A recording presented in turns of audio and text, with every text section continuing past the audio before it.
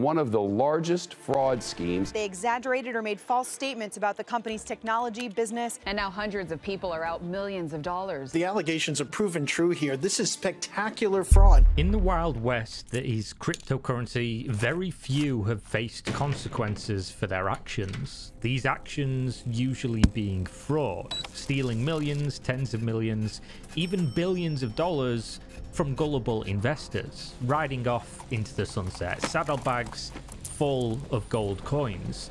Much like the Old West though, times are changing, civilization is catching up, and the frontier has been shrinking day by day. The latest to discover this is one Eddie Alexander, a 50 year old Haitian national that resides in Valley Stream, New York. Eddie decided that he was not too late to the party, and he too could make his fortune lying, cheating, and stealing from investors. He, of course, was wrong. He will instead be facing down the long barrel of up to 30 years in federal prison. Prior to being the owner of an alleged Ponzi scheme, Eddie was a cybersecurity engineer with 30 years of experience with jobs at prestigious companies like Warner Media. And speaking about jobs, it's actually my job to tell you about today's sponsor. Noah's Heart is a massive open world MMORPG that is currently holding a closed beta test on Android, iOS, and PC. Explore Planet Noah, travel across the diverse terrain on foot, on mount, or in the sky with your jetpack, or even with your grapple gun. Collect waifus and husbandos to build your ultimate squad of phantoms to help on your mission to become the very best like no one ever was. To catch waifus is your real test, to train them is most certainly your cause. Create your character, customize your appearance, choose your weapon type, and set off on your adventure. The story starts you off real strong. You meet a woman, she has bunny ears. We like that. The anime antagonist shows up and he beats your ass. Just before he lands the final blow that would finish you off, bunny-eared waifu shouts, get down Mr. President, and dives in front of the strike. We don't like that. Luckily, she's made us stronger stuff than you and turns out to be a-okay. But we can't take that level of disrespect, initiate anime training compilation. We will get stronger using the power of friendship. We will show Bunny Waifu that we are worthy. Noah's Heart takes place on what they call a parallel world, one that features historical figures that you can interact with or even collect as phantoms to take into battle. Take for instance the famous William Shakespeare. Yes, this is William Shakespeare in what I'm calling the world that should have been, but unfortunately isn't. This is definitely the best William Shakespeare, and for some reason, I just can't stop paying attention to his work for once. Noah's Heart is available in a variety of languages English, German, Russian, French, and Portuguese, with the option of even having Japanese audio with subtitles of your choice. The game has a bit of something for everyone. Dungeons, open world exploration, collection, free moving 3D combat, questing, crafting, and more. To check out the game, use the link in the video description. They're going to launch very soon, and you can go ahead using that, sign up for pre-registration for when they do, and anyone who does sign up will receive some special in-game rewards, so definitely do that if you are interested, and thank you again to Noah's Heart for sponsoring this video. On with the content. So what did Eddie do to draw the attention of the FBI? Stay efficient and profitable as you build your wealth with investments in the crypto and forex trading business by signing on with eMini FX. Our robo-advisor assisted account allows for automated trading, freeing up your time for other activities, featuring ultra-low commissions on each financial transaction you complete. This platform lets you retain more of your profits, and the low pip spreads ensure you stay abreast of price movements, you can build teams to expand your network and earn profits when you introduce others to this platform. This positions you to collect a portion of the fees paid by every one of your referrals. Visit and sign up on www.eminifx.com to fuel your profits by making meaningful use of breakthrough technology offered on this platform. After watching that video, you're likely to have questions. You probably think that no one could fall for something this obvious, and if they did, it can't have been for much money. This trailer, as well as a terribly designed website using all stock footage, earned eMini FX over $59 million from September 2021 until the FBI shut it down in May of 2022. So how exactly did he do it? eMini FX operated almost identically to previous crypto schemes that we've already seen come and go, including the famous BitConnect. What's up, what's up, what's up, what's up, what's up, what's up, what's up, what's They promise such high returns that prey on the FOMO, fear of missing out, of potential investors. They then honor some withdrawals early on to show you you can put money in, earn a little, and take money back out. It's all good. All the while, throwing high percentage gains at you. The word of mouth spreads. The longer the platform is in operation, the more legitimacy people believe it has, and the high returns dissuade people from pulling out all their money, since that would slow down their earnings. It's the perfect storm of preying on greed, or in many cases, desperation to beat the system and better your life as quickly as possible. Cryptocurrency has put the idea in millions of heads that getting to an opportunity like this early on can change your whole life. And since it has happened to people before, why not you this time? You too can be in the right place at the right time and become financially free. Just invest in my scheme. Now, as you can see from the marketing material and the gains promised, these are obvious by design to weed out people who would be more skeptical, just like the scam calls who ask if you're over 65 before trying to steal your money, or the Nigerian prince who emails you with a blatant scam. They don't want to waste their time if they don't think they can get you. The biggest difference with projects like BitConnect or eMiniFX, though, is that they employ the most powerful tool possible other investors. So not only did they promise returns that are too good to be true, they also had multiple levels of marketing schemes that rewarded you for inviting users to the platform. You got cuts of their trading fees, you got cuts of any packages they purchased, you got access to a fleet of luxury cars if you invited the most people, or of course you would get cash rewards for being the very top of the pyramid. But of course, you're never going to be the real top. The real top is Eddie Alexander.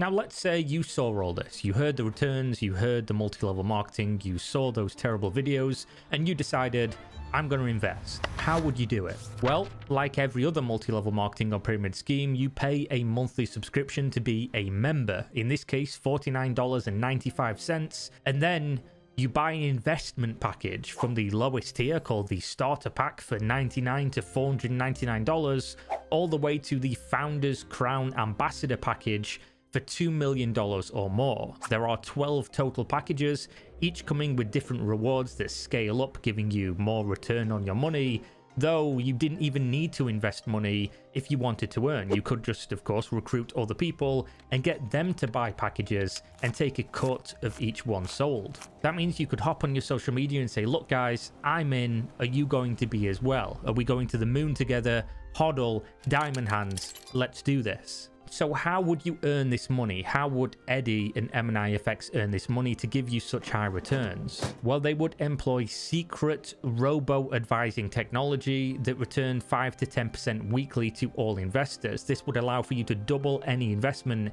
inside of 5 months. Pretty good deal, right? These robots must be very efficient, except Eddie would not explain how this worked and only repeated that it was his quote trade secret. Despite all these red flags, people bought packages, and when you did, you'd see a dollar value appear in your dashboard, including the promised returns each week of 5 to 10%.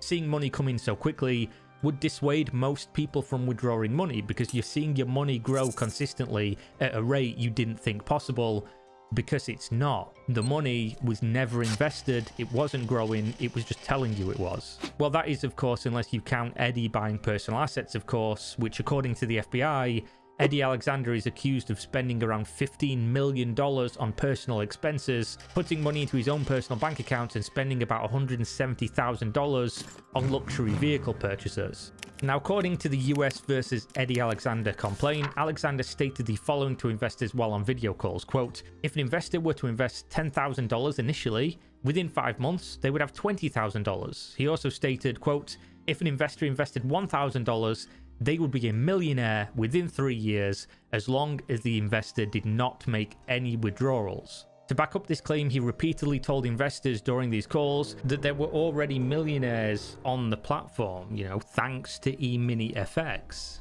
then he had to call and congratulate them personally. Now, all of this is, of course, completely fake. It doesn't exist. The FBI had surveillance on the New York office, and during said surveillance on or about March 22nd, 2022, law enforcement observed and photographed evidence of handwritten summaries of fraudulent returns on a whiteboard. The whiteboard shows the writing, quote, never less than 5%, never more than 9.98%. The FBI agent alleges that based on his experience and investigation, this indicated that the weekly profit was not based on returns at all, which is fairly common sense, right? Nobody ever can guarantee you between 5 and 10%, never going below even by 0.1%, never going above by 0.1%. And this is especially obvious when the FBI could then compare this information to the provable investment returns, which consisted of only losses. Now, during the investigation, Eddie Alexander opened a series of bank accounts to receive funds from investors. However, instead of keeping all funds in said accounts, he instead diverted over $15 million to his personal account. According to the agent, a number far exceeding the fees the company claimed to be taking from investors, therefore it had to be investor funds that was not for him personally in the first place. Of the $59 million, Alexander only transferred $9 million to a trading platform to conduct investments. Instead of trading in the Forex and cryptocurrency markets as the website claimed they would, he instead traded in individual equities and single equity options. Within three months of trading, Alexander's balance was $2,769,718, which means he lost approximately $6.3 million of investor funds, despite claiming 5 to 10% returns weekly and expert traders that could guarantee that return. On top of this, within two months of operating eMini FX, but before making any investments at all, Alexander bought himself a $155,000 BMW. Luckily though, while misappropriating funds, whether by guilt or foresight, Alexander also used investor funds to pay retainers for law firms to the tune of over $120,000, which should help quite a lot considering his current situation. According to the FBI agent in charge, some users were able to receive withdrawals, though having access to the financial records shows that they can only fund these withdrawals with funds of existing investors investors or that of new ones, the textbook definition of a Ponzi scheme. The business earns no funds from any operation and only loses money over time due to operation and improper use of money invested. Therefore, the dollar value on everyone's account, even if it remained at the exact value they entered, could no longer be withdrawn. When you add on the 5 to 10% compounding interest on each user's money that happened on Friday every week from September 2021 to May 2022, as well as Alexander's personal withdrawals and failure of trading, the total value, should they need to pay out what investors expect based on the balance on their dashboard, it would be likely over $110 million. According to the report, there is less than $35 million in the main account. This sealed complaint and the information within was enough to get a Southern District of New York judge to sign off on a warrant for the arrest of one Eddie Alexander, as well as put a halt on the company's operation. This news broke on May 12, 2022, and investors were in denial about why the website was no longer processing withdrawals. It does show everything there. Um, I did a withdrawal, y'all know, um, of my balance a couple weeks ago, and it hasn't it hasn't took place, which is kind of strange. Um, you know, so um, don't know why, but it hasn't took place. Some users that had tens of thousands of dollars invested to try to contact the company to find out what was happening, only to be told that the phone line is no longer being monitored and forward them to a law office. An update for today is that I tried to call and got a message that I certainly want to hear. So the message says, by order of United States District Court dated May 11, 2022, eMini FX has been placed under federal receivership. This phone line is no longer being monitored. If you have questions, please email eminifx.receiver at rainslaw.com. That's R-A-I neslaw.com. As you can see from this user's accounts, they were part of a group that had invested hundreds of thousands of dollars to date, and despite the FBI's arrest of the CEO, he remains hopeful that all is well. I really honestly don't feel like it was the CEO's uh, intent to swindle anybody's money. I really feel like it was his passion to run a successful company here. Maybe some of the uh, slowness or whatever that's been going on lately has caused somebody to um, file a complaint against the company or something. CEO of cryptocurrency and forex trading platform charged with fraudulent scheme involving over $59 million says that the CEO Eddie Alexandri was arrested, but there's another report that he's out on bail. I'm not going to believe everything that I hear, uh, innocent until proven guilty, but It's not looking good. As much as this scam was obvious, the people caught up are real, and financial losses like this can have serious repercussions for those burned and the families left to pick up the pieces. The reason these schemes are so despicable is that they operate using people's desperation against them and turn those people into extremely powerful marketing tools that recruit others in similar positions. I also have friends and family highly invested in this, and uh, I would ask that you just please pray for us all during this process. Hopefully, you know, it will go smoothly. If these allegations are true, I hope Eddie Alexander will have many years to reflect upon his decisions in prison.